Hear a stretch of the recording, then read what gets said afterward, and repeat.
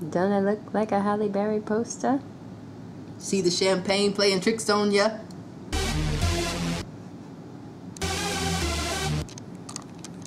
Gosh, it's Monday. You know what that means?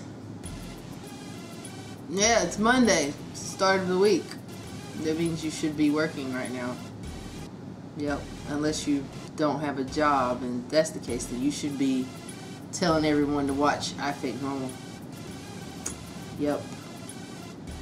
But it also means new Keyia knows best. Yes, where you send in your questions and I send you my answers.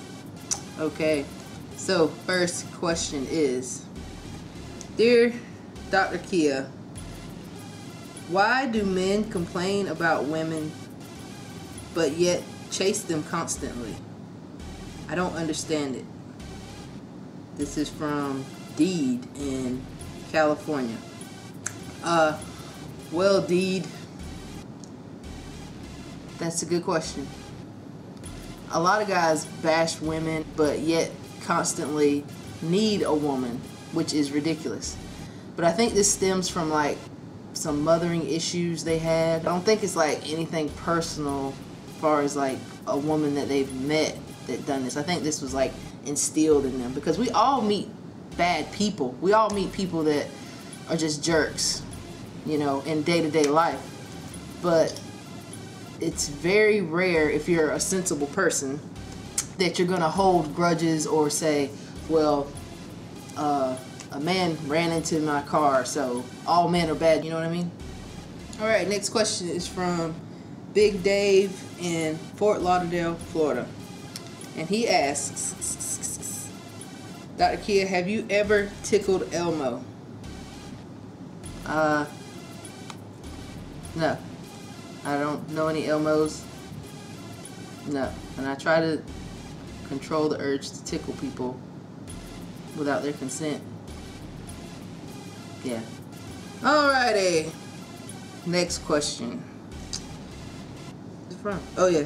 It's from Matthew in Tulsa, Oklahoma. Matthew, hi! You've sent me a lot of questions and I love it, Matthew. Thank you. And your question is, do you have a self-inspired philosophy on life?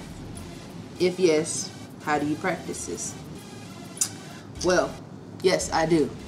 My parents instilled in me at a very young age to always treat people the way you would like to be treated, even if they don't do the same. And I think that is pretty much a good law to live by. You know, it's not about, well, this person did this to me, so I'm going to treat them this. No. As long as you're a good person and you have good character, that's all, that's all you have to worry about. You can't control what other people do, so don't try to. So, treat people the way you would like to be treated, and the world will be a better place.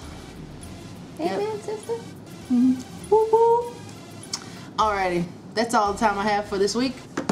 Send me more of your questions, and I'll send you more of my answers. See you next Monday. Same time, same place. I think normal. Holla.